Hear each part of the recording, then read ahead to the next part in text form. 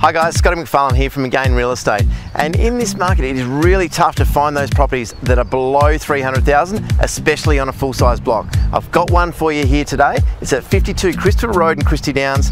Got a full-size 727 square metre block, 20.5 metres of frontage, a really neat three-bedroom home with two living areas. Why don't go inside and check it all out?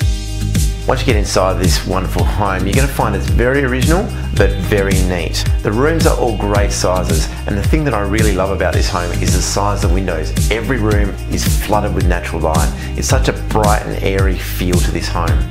The lounge room is at the front of the home. It's a great size and flows around the corner to an L-shaped dining room, which then overlooks your wonderful original kitchen. Down the hallway, you've got three great sized bedrooms. The master has a built-in robe and a ceiling fan and has beautiful timber floors as well. Out through the laundry, you've got a bonus family room. It's a little extension applied many years ago, but it's a great space for a second living room or a nice little reading nook, whatever you desire it to be.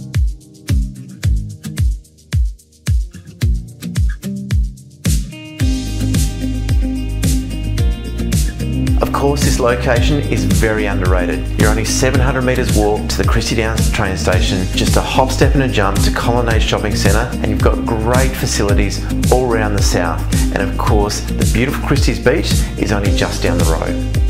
So there you have it. Inside is certainly very neat and clean, but the other big feature of this house is the size of the land and the beautiful backyard. You've got brand new fencing on all three sides, you've got beautiful fruit trees throughout, and it's just such a great private space, perfect for the first home buyer or the developer to take advantage of the land size here.